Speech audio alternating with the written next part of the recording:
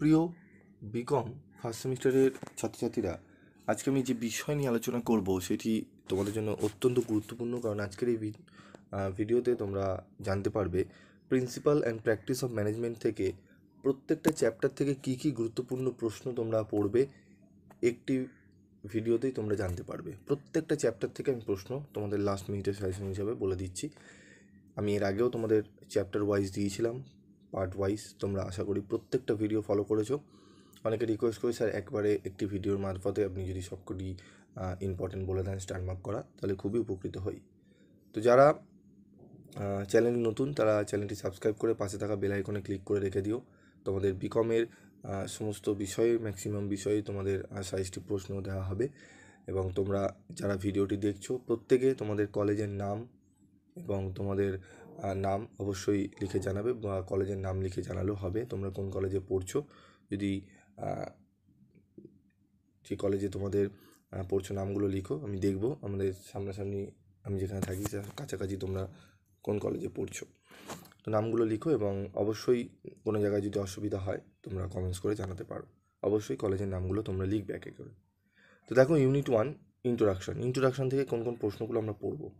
দেখো ব্যবস্থাপনার সংজ্ঞা দাও, এর গুরুত্ব আলোচনা করো। ব্যবস্থাপনায় কার্যাবলীগুলি আলোচনা করো। ব্যবস্থাপনার বিভিন্ন স্তর সম্পর্কে ধারণা দাও।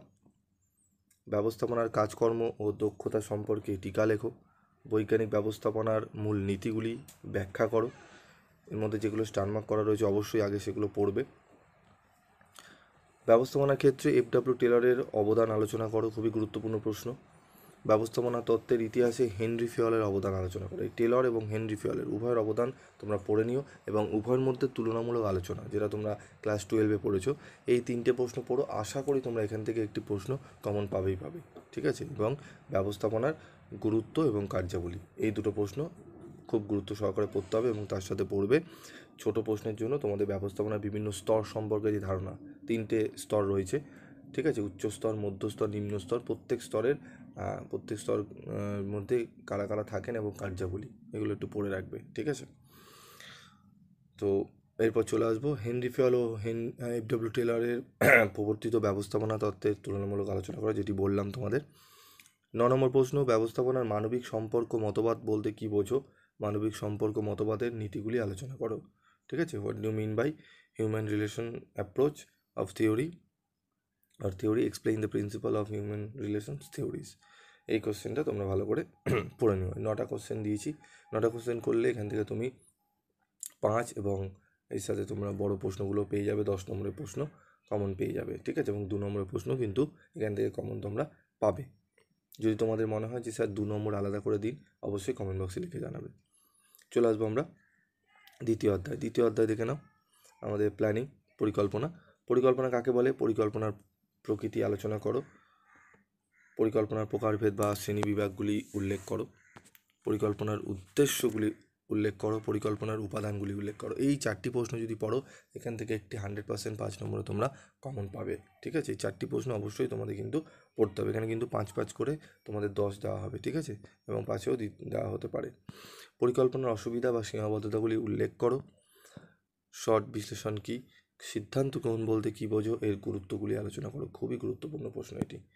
কৌশল ভিত্তিক পরিকল্পনা কি? কৌশল ভিত্তিক পরিকল্পনার পদ্ধ- পদ্ধতির সুবিধা বা গুরুত্ব আলোচনা করো। খুবই গুরুত্বপূর্ণ। চলে আসব। তিন নম্বর চ্যাপ্টার অর্গানাইজ অর্গানাইজিং সংগঠন। সংগঠনের ধারণা দাও, এর গুরুত্ব বা প্রয়োজনীয়তা আলোচনা করো। সংগঠনের ধাপ বা পদক্ষেপ বা পর্যায়গুলি আলোচনা করো। সংগঠনের নীতিগুলি উল্লেখ করো। এই তিনটি প্রশ্নের মধ্যে দেখো, স্টার মার্ক করা রয়েছে। সেগুলো আগে পড়বে। সংগঠন কাঠামোর বিভিন্ন ধরনগুলি আলোচনা করো।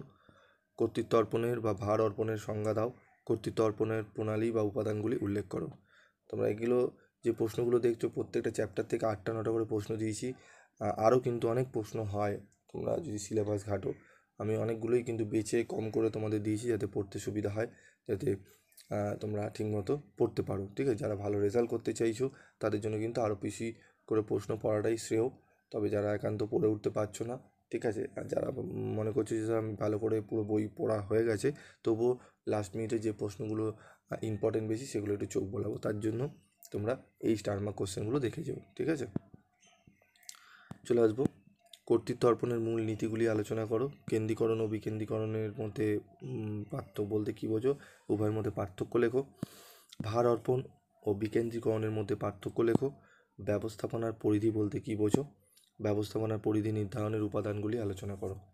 দশটি প্রশ্ন রয়েছে, তার মধ্যে স্টার মার্কগুলো অবশ্যই করবে, ঠিক আছে? চলে আসব পরবর্তী চ্যাপ্টারে পরবর্তী চ্যাপ্টারটি আমরা দেখে নেব।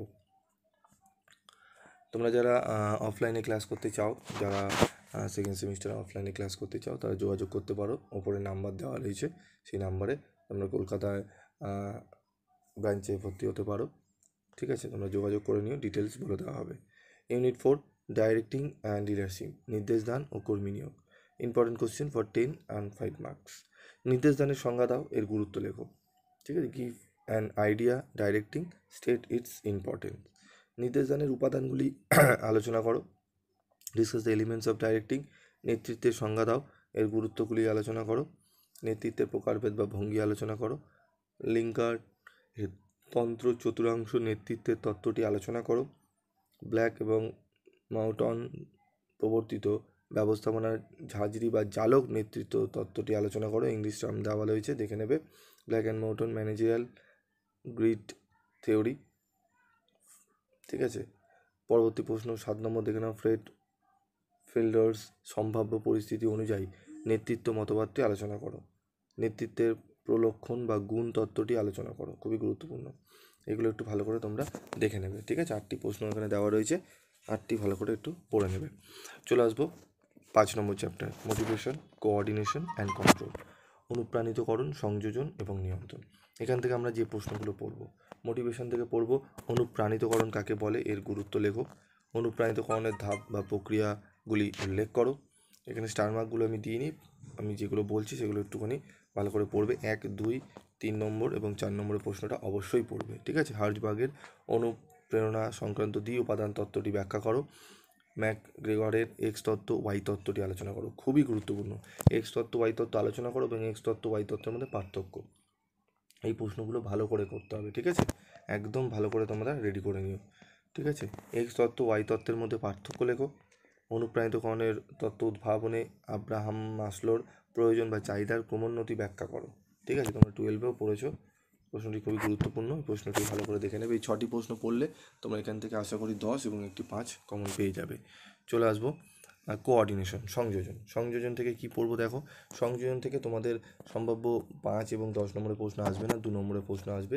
দু নম্বরের প্রশ্নের জন্য তোমরা এই তিনটি প্রশ্ন পড়লেই দু নম্বরে একটি প্রশ্ন কমন পেয়ে যাবে। কি প্রশ্ন পড়তে হবে? সমন্বয় কাকে বলে? সমন্বয়ের গুরুত্বগুলি আলোচনা করো। সংযোজনের নীতিসমূহ আলোচনা করো, ঠিক আছে? নীতি, সমন্বয় কাকে বলে? গুরুত্ব, নীতি, ঠিক আছে? সমন্বয় কাকে বলে? দুটো গুরুত্ব পড়ে নেবে, দুটো নীতি পড়ে নেবে, ঠিক আছে? টু দি পয়েন্ট অ্যান্সার পড়ে নেবে বা যদি তোমরা পাঁচটা পাঁচটা করে পড়ে নিতে পারো, ভালোই হয়। কারণ পাঁচে আসার সম্ভাবনা খুব কম, যদিও দেয় একটি প্রশ্ন দিতে পারে, ঠিক আছে? নিয়ন্ত্রণ থেকে পাঁচ নম্বরে আসার সম্ভাবনা বেশি। কী প্রশ্ন আসতে পারে? নিয়ন্ত্রণ কাকে বলে? এর গুরুত্বগুলি লেখো, নিয়ন্ত্রণের আধুনিক কৌশল বা পদ্ধতি উল্লেখ করো। এই দুটি প্রশ্ন করো নিয়ন্ত্রণ থেকে তাহলেই হবে। ঠিক আছে? অনেক কম করে সাজেশন তোমাদের দিয়েছি, প্রশ্নগুলো বেছে দিয়েছি।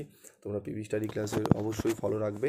তোমাদের ইডিরও আমি সাজেশন দিয়েছি ইডির সাজেশনগুলো দেখে নেবে, আমি লাস্ট মিনিটের সাজেশন ইডিরও দেবো। তো এই সাজেশনগুলো একটু ফলো করো এবং অঙ্ক ফাইন্যান্সিয়াল অ্যাকাউন্টিংয়ের যেগুলো তোমরা প্র্যাকটিস করেছ সেগুলোই করবে। অঙ্কের তো সেইভাবে সাজেশন হয় না, তবে ইয়ারগুলো একটু ভালো করে দেখো এবং অবশ্যই পুরোনো ইয়ারগুলো দেখবে, ঠিক আছে? নতুন কারেন্ট ইয়ারগুলো এখানে কিন্তু সেইভাবে দেয় না। পুরনো ইয়ারগুলো একটু দেখবে মানে দশ, বারো, তেরো, চোদ্দ, পনেরো, এইসব ইয়ার ইয়ারগুলো একটু ভালো করে প্র্যাকটিস করে নেবে, ঠিক আছে? তো যদি তোমরা চাও যে স্যার আমাদের ফাইন্যান্সিয়াল অ্যাকাউন্টিংয়েও যদি কোশ্চেন একটু কয়েকটি বলে দেন, তাহলে তোমরা অবশ্যই কমেন্ট বক্সে লিখে জানিও, আমি চেষ্টা করব তোমাদেরকে গুরুত্বপূর্ণ প্রশ্নগুলো বলে দেওয়ার। আর যারা নতুন তারা অবশ্যই চ্যানেলের সাথে থেকো চ্যানেলকে সাপোর্ট করো। এবং তোমাদের কলেজের নামগুলো অবশ্যই কিন্তু কমেন্ট বক্সে লিখে জানাতে ভুলো না। আজকের মতো এটুকুই। দেখা হচ্ছে পরবর্তী ভিডিওতে সকলে ভালো থেকো, সুস্থ থেকো।